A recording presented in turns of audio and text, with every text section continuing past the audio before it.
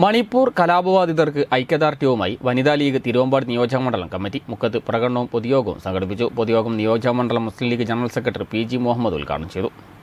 മണിപ്പൂർ കലാപബാധിതർക്ക് ഐക്യദാർഢ്യം പ്രഖ്യാപിച്ചുകൊണ്ടാണ് തിരുവമ്പാടി നിയോജക മണ്ഡലം വനിതാ ലീഗ് നേതൃത്വത്തിൽ റാലിയും പൊതുയോഗവും സംഘടിപ്പിച്ചത്.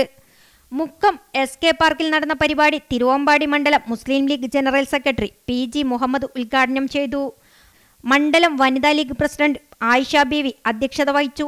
മണിപ്പൂർ വിഷയത്തിൽ ജനാധിപത്യ വിശ്വാസികളായ സ്ത്രീ സമൂഹം ഒറ്റക്കെട്ടാവണമെന്ന് വനിതാ ലീഗ് ആവശ്യപ്പെട്ടു.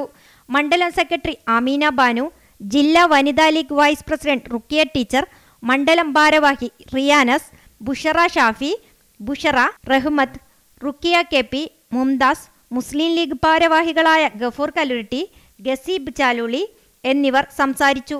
ആമിന ഇടത്തിൽ ഷഹനാസ് ചാലുളി റിയാനസ് റെജീന ഫാത്തിമ മോയിൻ സൈനബ സീനത്ത് ഷാക്കിറ സക്കീന തുടങ്ങിയവർ നേതൃത്വം നൽകി.